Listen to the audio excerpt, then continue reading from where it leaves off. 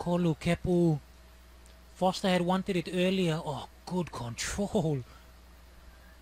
Junior David goes for the cross. Kolu! Again, Hekari just closing down the opposition and flooding numbers forward. Hekari United. Rag Tokubai released. Chance for them to make it 2-0.